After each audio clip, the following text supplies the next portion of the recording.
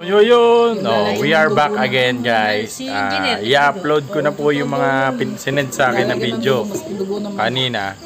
Pinagsama-sama ko na sa isang sa isang ano ng YouTube para makita din ng mga iba kung paano paano at gaano kasimple lang ang gagawin. Para lang may sarili na rin kayong video. At hindi yung parang shout out shout out ko kayo na ano yung mga mukha nyo para medyo makita din dito. So, tara, panoorin natin sila. Hambugan TV Please like and subscribe and share the video. Uh, let's get ready to rumble! Yes, what's up mga kalapatids? Ako nga pala si Marvin, Dr. Maglente, aka JMJM Love, newbie puncher ng Luzon Ab, Quezon City. Ngayon mga kalapatids, isi-share ko nga sa inyo kung paano ako gumawa ng simple, basic feeds ng aking mga alagang kalapate. Tara po! Yes mga, mga kalapatids, share ko lang po sa inyo kung paano po ako magbigay ng pagkain daily sa aking mga ka- kalapate. Unahin po natin sa flyer. Ang flyer ko po anim, aanim na piraso. Kaya ang binibigay ko po limang takal ng homemade sneaky mix at isang heavy mix. Heavy mix na tinatawag ko is malalaking butil ng patuka. Doon po tayo sa mga breeder. Yung breeder ko siyam na piraso kaya siyam na pirasong kutsara. Mas maraming heavy seeds. 1, 2, 3, 4, 5, 6 1, 2, 3 Yan na po ang pagkain ng breeder, breeders ko. Sa may nakay naman po, 1 pair, dalawang YB, kaya ang binibigay ko lang po, 1 is to 1. 1 homemade sneaky mix, 1 heavy seeds, tapos isang kutsara ng high protein platinum sa 1 pair na nagsusubo.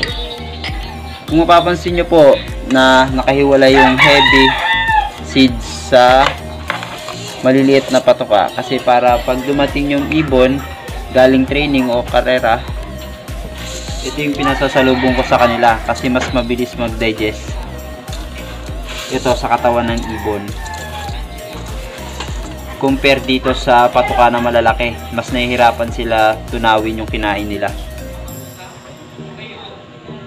Sa maintenance ng ibon nagbibigay lang po ako sa mga flyer ng counting percent netong piece. Kasi kung hahayaan kung kumain sila ng recta breeder mix is mabigat lang po sa katawan ng ibon. Maganda to sa mga breeder mix. Ay sa mga breeder. Breeder. Tsaka yung nagsusubo ng mga breeder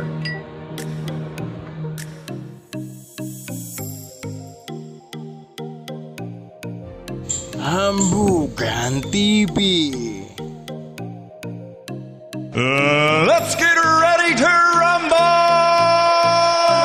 Magandang, magandang, magandang, magandang, magandang, magandang, magandang umaga po sa inyo lahat mga kalapatids. Ah, ako nga po pala si Marlon Alamudin at Alamudin Slope, no? So, papakita ko po sa inyo yung loop ko. Sa inyo lahat mga kalapatids. Ah, ito, papakita ko lang sa inyo yung loop ko. Breeding loop. Ah, breeding cage, yan.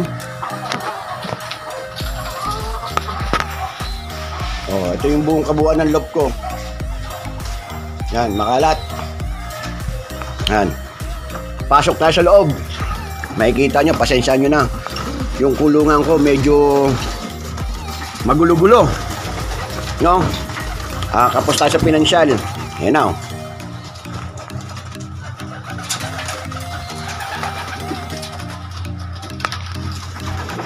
Yan o, oh, sira-sira yung kulungan natin ngayon. Napabayaan kasi dahil sa katapos lang na eleksyon eh may amo kasi ako ng kandidato na sumubok para maging isang lingkod bayan pero hindi ho pinalad o pagpasensya nyo na napabayaan ko rin yung kulungan ko o.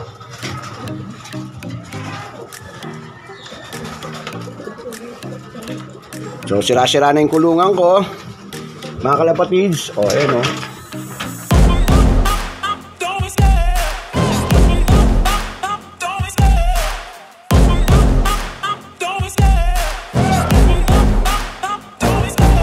Love the chase and the hunt and I set the pace when I'm running. I always take what I want and I always give it 100 Don't need a bank, no I'm funded. Play the game like it's nothing. I'm always thankful for something. Don't take for granted, stay humble. Now wake up!